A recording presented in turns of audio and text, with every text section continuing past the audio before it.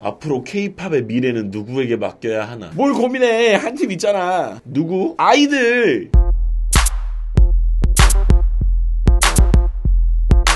오바님들 안녕하십니까? 저는 14년차 댄스 트레이너 루다크리스입니다. 해당 영상은 제 개인적인 견해를 담은 영상입니다. 해당 영상은 LG 플러스의 지원을 받아 제작되고 있는 영상입니다. 상향 평준화가 이루어져 버린 가요시장에 몇 안 되는 개성 있는 팀. 전소연이라는 엄청난 잠재력을 가지고 있는 오늘은 아이들의 라이언 골든디스크 무대 갑분석입니다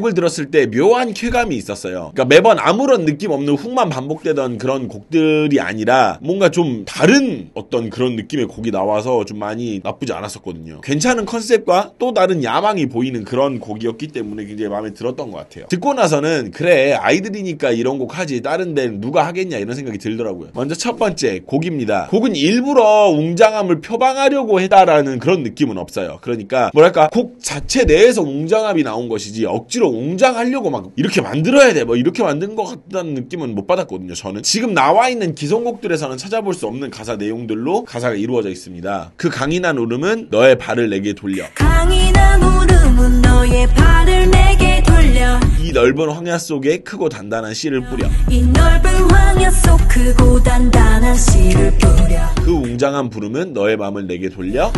웅장한 부름은 너의 맘을 내게 돌려 바닷속까지 거친 멜로디를 꽂아 애초에 단어 선택부터 일반적인 단어가 거의 많이 없어요. 굉장히 컨셉에 집중을 해서 곡이 쓰여진 그런 느낌입니다. 두 번째, 퀄리티. 어, 이 곡은 음악 방송용이라기보다는 퀸덤에서 보여주었듯이 뭔가 시상식이나 혹은 뭐 약간 공연용, 큰 공연용 이런 느낌이 많이 들어요. 그렇다 보니까 여러 가지 부분에서 일반 기성곡들과는 다른 퀄리티를 가집니다. 댄서들을 대동하는 인원에서부터 백그라운드를 사용하는 등 여러 부분에서 질적으로 다른 그룹들과는 다른 차이점을 보이죠.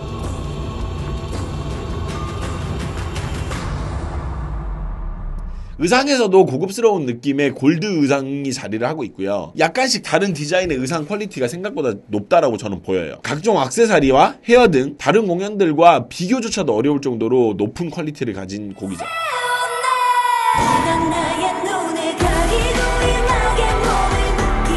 무대를 구성하는 댄서들의 사용이나 동선 크기 등에서도 분명히 다른 퀄리티를 지닌 그런 스케일을 보이고요. 세 번째, 아이들. 해당 그룹은 시작부터 남달랐고 남다른 길로 가고 있습니다. 굉장히 좋은 행보고 멋지다라는 생각이 들 정도로 그리고 더 보고 싶을 정도로 좋은 실력과 잠재력을 가진 팀이기도 하고요. 이전에 비해 전소연이라는 사람에게 의존하던 그런 것들도 많이 줄었다라고 보여요. 파트 배분에서도 그걸 느낄 수가 있고 그리고 전반적인 멤버들의 퀄리티가 많이 올라갔음을 느낄 수는 있어요. 그러나 해당 무대를 기준으로 제게 좀 아쉬운 부분들이 보여요. 근데 제가 실명을 거론하는 거는 좀 지양하는 방법이기 때문에 좀 돌려서 이야기를 좀 하자면 몇몇 멤버가 해당 컨셉을 전혀 이해를 못하는 것인지 혹은 그것이 본인들의 한계인지는 모르겠습니다만은 굉장히 몰입에 방해가 될 정도로 약간 긍정적인 느낌을 주지 못하더라고요. 근데 이런 점들이 이제 이 팀이 헤쳐나가야 될 숙제라고 생각을 합니다. 그러니까 해당 곡은 분명 컨셉이 있고 강인함과 카리스마가 동반이 되어야 할 곡임에도 일반 걸그룹과 같은 표정으로 일관하는 그 몇몇 멤버는 식스센스를 부르던 러블리즈의 느낌마저도 약간 좀 주는 게 있어요. 가수는 춤과 노래만 할 줄 안다고 해서 할 수 있는 직종이 아니게 돼버린 지는 좀 굉장히 오래됐죠. 그러니까 점점 신인 혹은 뭐 데뷔한 지 얼마 안 됐으니 뭐 이런 식의 이야기는 이 팀과 점점 멀어지고 있죠. 시간이 지나고 있으니까. 그래서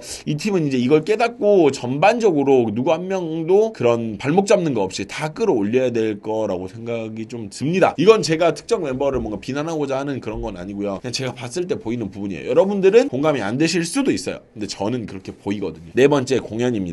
해당 공연에서는 솔직하게 이야기해서 아이들이라는 그룹이 잘해서 이 공연이 나왔다고 하기가 솔직하게는 좀 어려워요. 엄청난 스케일의 백그라운드 영상 그리고 수많은 댄서 그리고 무대 크기 등이 60% 이상을 했다라고 해도 네, 될 정도로 부수적인 것들의 지분이 높은 공, 공연이에요. 아이들이라는 그룹이 못했다라는 이야기를 하고 싶은 게 아닌 거는 구독자 여러분들이 잘 아실 거예요. 해당 무대에서의 오프닝은요 댄서들이 맡고 있고 그로 인한 분위기를 이렇게 잡은 상태에서 공연이 시작이 돼요.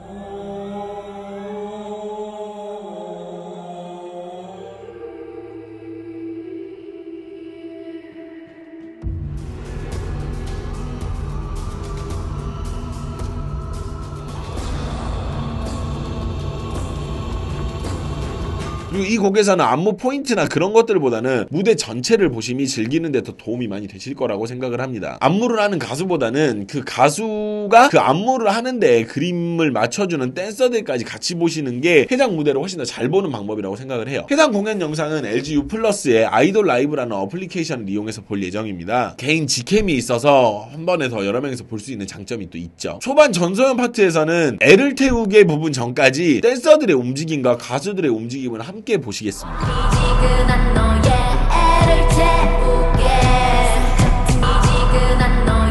애를 태우게 왕관을 맴돌게 파트에서도 역시 댄서들의 임팩트가 있죠.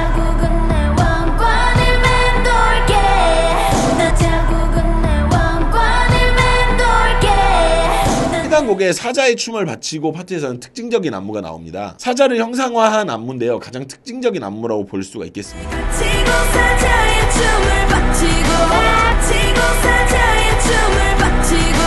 두 번째 빠빠빠 그 부분 파트에서는 댄서들이 무릎을 꿇고 같이 안무를 진행을 해주는데요. 댄서가 빠졌다라고 생각을 좀 해보시면 이 해당 안무가 얼마나 댄서 의존도가 높은지를 아실 수가 있을 것 같아요.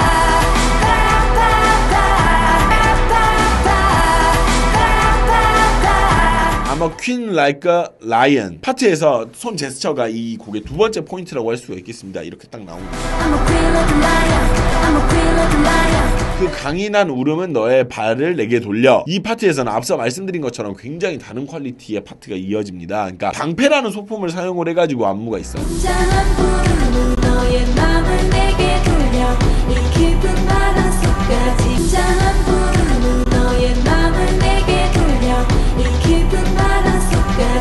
탐을 내지 말어 파트에는 댄서의 중요성이 다시 한번 또 나옵니다.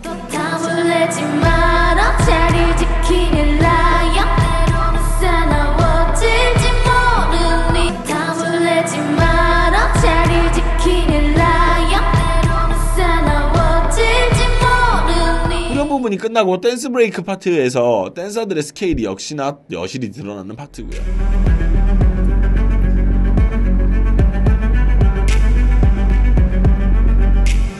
전소연 파트에서는 뒤에서 잡아주는 카메라 앵글이 나오는데 해당 무대의 스케일 그리고 여러 효과 댄서들이 보이실 거예요.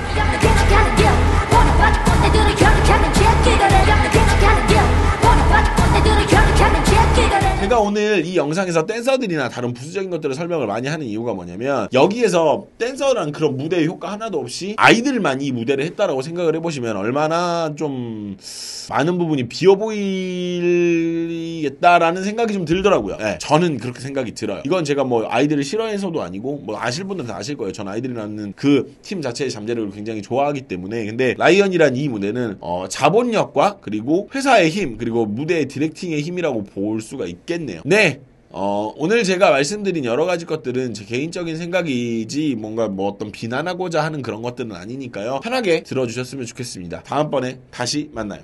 안녕.